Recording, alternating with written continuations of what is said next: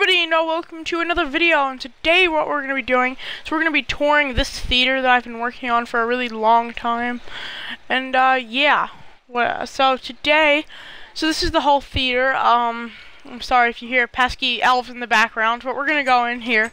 Uh, so this is basically the main entryway for visitors.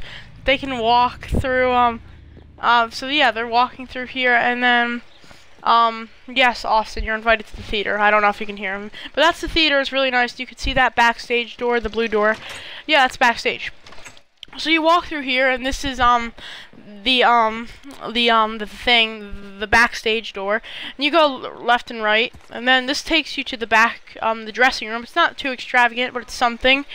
Then you go up to this door, and that basically just takes you back to the theater. That's that blue door.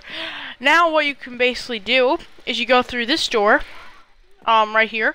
My dog's scratching at my dad's door, so I have to stop that. I'm sorry if you hear pesky elves in the background. Um, but anyway, I have to stop my dog real quick. Let me fix that. Okay, now, so I'm just going to walk down here and turn right this time. And that'll take me into... So yeah, that'll take me into this room, which is basically a news kind of room.